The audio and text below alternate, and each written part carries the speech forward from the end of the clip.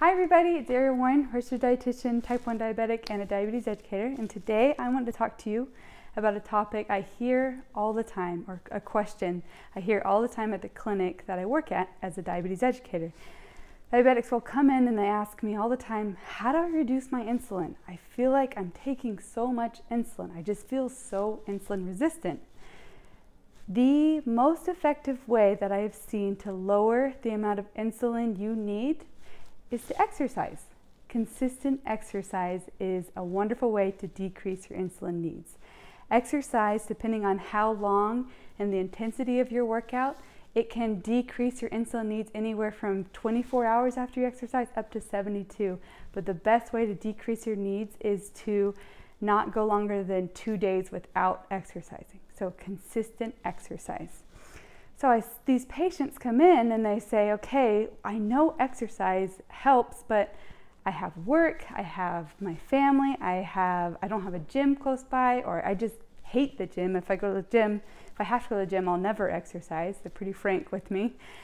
And so I thought, okay, how can I help these patients have a workout that they can do at home and doesn't take too long, it doesn't take any equipment.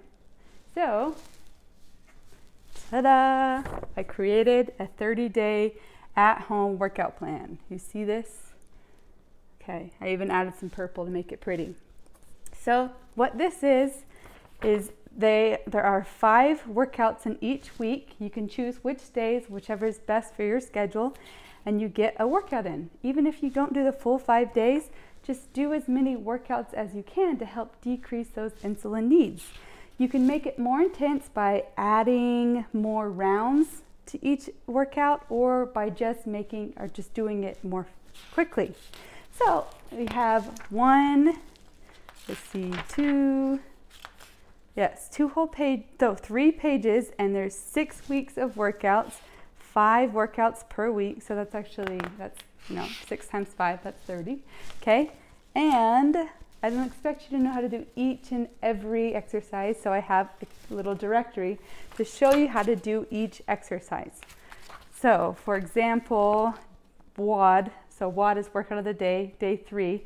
It's 10 side bridges, 10 flutter kicks, 10 side planks with leg lifts, 10 donkey kicks, and 10 jumping lunges. And so you do that as many times you can, but the recommended amount to do that is four times. I promise you, these will make you sweat. I've made each one of these workouts. These are my own creation, and I think you're really gonna like them. So if you use the link below, you can download this calendar.